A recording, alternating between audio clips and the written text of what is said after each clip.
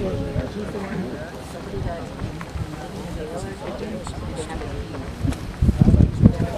imagine, guys, all the drugs being spread out through the, the North Dakota, the meth going out. You guys are here wasting your time. You know, you're not protecting the